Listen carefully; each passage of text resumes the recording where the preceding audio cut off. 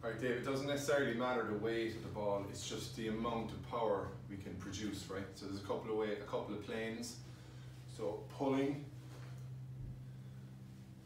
okay, pushing. So first it's about dece- the, um, the amount of control you have in deceleration. So up, as fast as you can, but I want you to get into that uncomfortable rotation. Really get yourself turning as much as you can. Full power and then straight to a stop, okay? Then acceleration, so no swing from a stopped position. Up, up. And if I'm doing these outside, I'll actually just let it go down the other way.